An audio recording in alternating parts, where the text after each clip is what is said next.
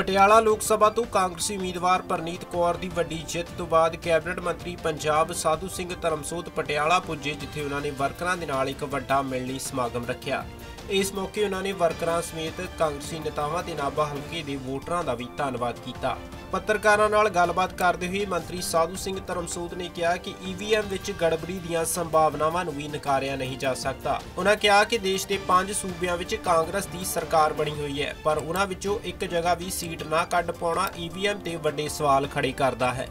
EVM ਤੇ ਬੋਲਦੇ ਹੋਏ ਉਹਨਾਂ ਨੇ ਕਿਹਾ ਕਿ ਦੇਸ਼ ਦੀ ਜਨਤਾ ਇਸ ਉੱਤੇ ਚੁੱਪ ਨਹੀਂ ਬੈਠੇਗੀ। ਉੱਥੇ ਹੀ ਉਹਨਾਂ ਨੇ ਪੱਤਰਕਾਰਾਂ ਨਾਲ ਗੱਲਬਾਤ ਕਰਦੇ ਹੋਏ ਦੱਸਿਆ ਕਿ ਹਰ ਇੱਕ ਕਾਂਗਰਸੀ ਵਰਕਰ ਨੇ ਪ੍ਰਨੀਤ ਕੌਰ ਨੂੰ ਜਿਤਾਉਣ ਲਈ ਦਿਨ ਰਾਤ ਮਿਹਨਤ ਕੀਤੀ ਹੈ। ਮਹਾਰਾਣੀ ਸਾਹਿਬ ਨੂੰ ਸਾਡੇ ਪਿੰਡ 'ਚੋਂ ਬਹੁਤ ਜ਼ਿਆਦਾ ਵੋਟ ਪਈ ਆ। ਕਿਹੜੇ ਟਕਸਾਲੀ ਕਹਾਉਂਦੇ ਤੇ ਉਹਨਾਂ ਨੂੰ ਦੇਖ ਲਓ ਕਿਹੜੀ ਵੋਟ ਪਈ ਆ। ਕੋਈ ਵੋਟ ਨਹੀਂ ਪਈ ਉਹਨਾਂ ਨੂੰ, ਟਕਸਾਲੀ ਕਹਾਉਂਦੀ ਤੇ ਬਸ।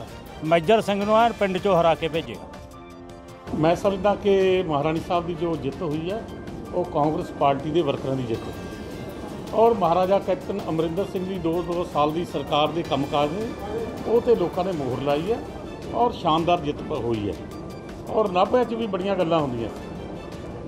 ਔਰ ਦੁੱਧ ਦਾ ਦੁੱਧ, ਪਾਣੀ ਦਾ ਪਾਣੀ ਸਾਬਤ ਹੋ ਗਿਆ। ਕਾਂਗਰਸ ਪਾਰਟੀ ਦੇ ਵਰਕਰਾਂ ਨੇ, ਮਜ਼ਬੂਤ ਵਰਕਰਾਂ ਨੇ, ਉਹਨਾਂ ਲੋਕਾਂ ਦੇ ਦੰਦ ਖੱਟੇ ਕੀਤੇ ਨੇ, ਜਿਹੜੇ ਪਾਰਟੀ ਵਿਰੋਧੀ ਤਾਕਤਾਂ ਨੇ, ਪਾਰਟੀ 'ਚ ਰਹਿ ਕੇ ਪਾਰਟੀ ਦੀ ਵਿਰੋਧਤਾ ਕਰਦੇ ਨੇ, ਉਹਨਾਂ ਨੂੰ ਆਪਣੀ ਜਗ੍ਹਾ ਦਾ ਪਤਾ ਲੱਗ ਗਿਆ। ਅੱਜ ਤੱਕ ਕਿਸੇ ਸਰਕਾਰ ਨੂੰ 8 ਸੀਟਾਂ ਨਹੀਂ ਆਈਆਂ।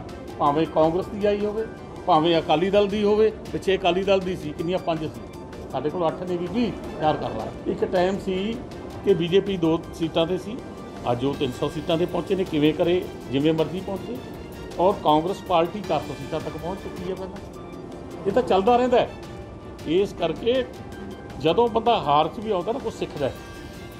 ਆਪਣੇ ਪਰਾਏ ਦਾ ਪਤਾ ਲੱਗਦਾ ਉਹ ਕੁਝ ਸਿੱਖਦਾ ਆਪੋਜੀਸ਼ਨ ਨਿਭਾਉਣ ਦਾ ਵੀ ਇੱਕ ਰੋਲ ਦੇਸ਼ ਦੇ ਹਿੱਤ 'ਚ ਜਾਂਦੀ ਹੈ ਗੱਲ। ਔਰ ਜਿੱਤ ਹਾਰ ਤਾਂ ਲੋਕਾਂ ਦੇ ਹੱਥ ਹੈ।